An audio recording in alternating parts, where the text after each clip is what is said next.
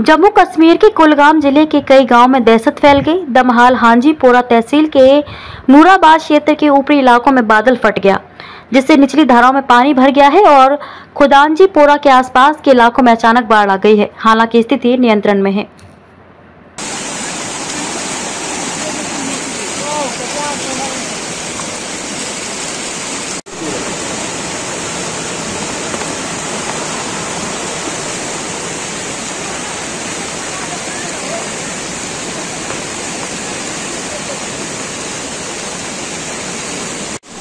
Thank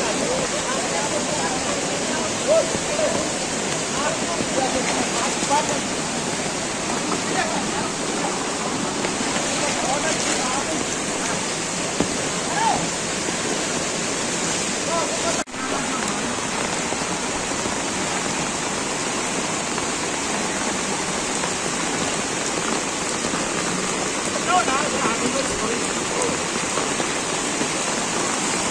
上。